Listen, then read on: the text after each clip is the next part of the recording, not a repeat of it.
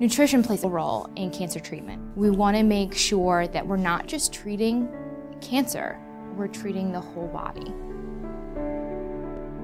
My name is Karen Marr, lead clinical oncology dietitian at Cancer Treatment Centers of America at Eastern Regional Medical Center.